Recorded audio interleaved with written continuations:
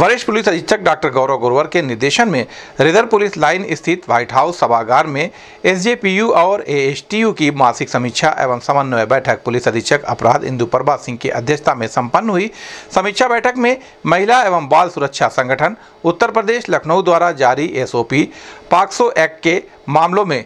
CWC के समक्ष शत प्रतिशत रिपोर्टिंग हेतु बाल कल्याण अधिकारी व उपस्थित मुंशीगढ़ को निर्देशित किया गया। बैठक में बाल कल्याण समिति के अध्यक्ष Vandana Singh, Pratiksha Snehalaya counsellor Seema Singh child helpline one stop centre safe society से ब्रजेश चतुर्वेदी व प्रभारी निरीक्षक थाना एएसटी सुबोध कुमार, उप निरीक्षक सुनील कुमार गुप्ता सहित थाना एएसटी के समस्त स्टाफ व सभी थानों के बाल कल्याण अधिकारी मौजूद रहे। इस संबंध में गोरखपुर न्यूज़ संवाददाता से बात करते हुए एसपी क्राइम इंदु प्रभा सिंह ने कहा। आज गोरखपुर स्थित सभागार में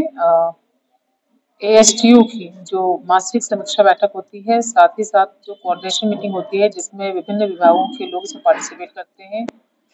इसमें C W C J J board और labour department medical department NGO हमारे आश्रय गृह हैं, वो सब, सभी सदस्य यहाँ पे आते हैं और यहाँ पे बच्चों से जुड़ी जो समस्याएँ हैं उसके संबंध में चर्चा की जाती है। जो थानों पर लंबित विवेचनाएँ हैं पॉक्सो एक्ट से संबंधित, उस पर चर्चा की जाती है।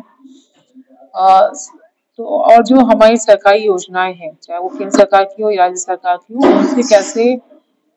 ऐसे बच्चे जो भिक्षावृत्ति में या चाइल्ड लेबर में इन्वॉल्व हैं, उनको कैसे इन योजनाओं से जोड़ें और इसका लाभ उनको दें? और कैसे हम उन्हें इन चीज़ों से दूर रखें बाल श्रम से दूर रखें भ्रष्टाचार से दूर रख उनको कैसे हम मेन स्ट्रीम लाइफ लाइफ में लेके आए कैसे उनको हम एजुकेशन से जोड़े